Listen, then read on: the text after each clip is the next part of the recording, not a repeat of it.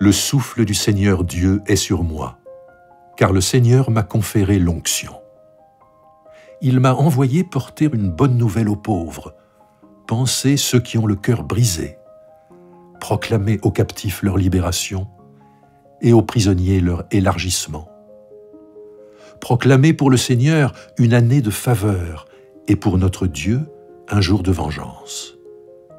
Consoler tous ceux qui sont dans le deuil, rétablir les gens de Sion qui sont dans le deuil, mettre sur leur tête une parure splendide au lieu de la cendre, une huile de gaieté au lieu du deuil, un vêtement de louange au lieu d'un esprit qui vacille, afin qu'on les appelle térébinthe de la justice, plantation du Seigneur, pour montrer sa splendeur.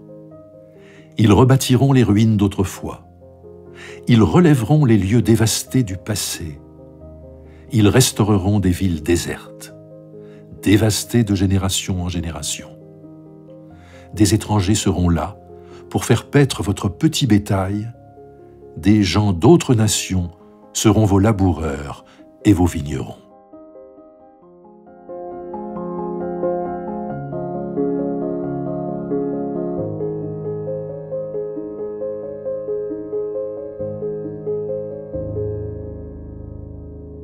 Nous sommes dans la troisième partie du livre d'Ésaïe, donc la troisième évoque euh, le peuple est rentré d'exil et, comme nous l'avons déjà dit, il a trouvé à Jérusalem une situation difficile qui était en deçà de, la promesse merveilleuse qui lui a été faite.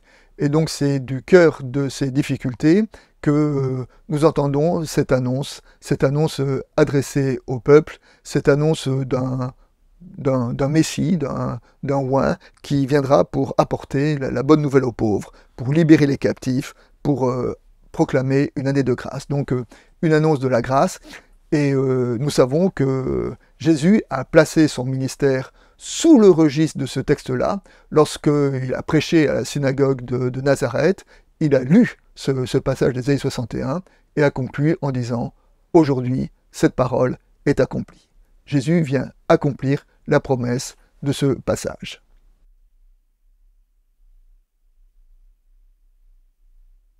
les commentaires ont mis ce texte en rapport avec le jubilé.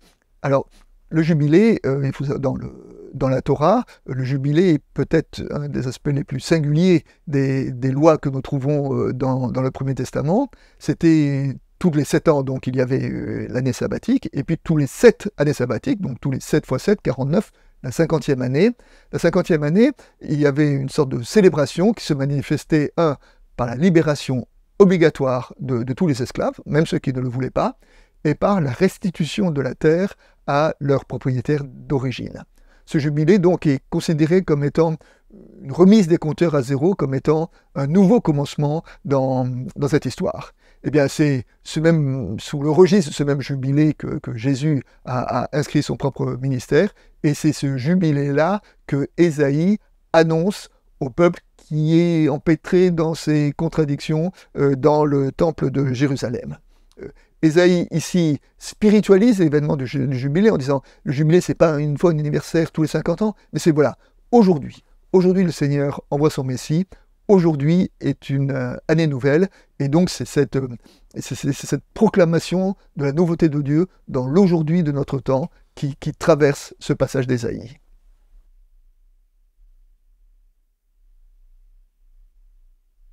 Nous méditons ce texte euh, d'Ésaïe euh, dans cette euh, période de l'Avent. Alors cette période de l'Avent, tous dans nos vies, nous sommes parfois empêtrés dans des contradictions et dans des difficultés, et nous devons entendre l'Évangile comme étant une parole nouvelle qui nous est dit. Le Seigneur, l'Évangile nous invite à poser la lumière de Dieu sur nos difficultés.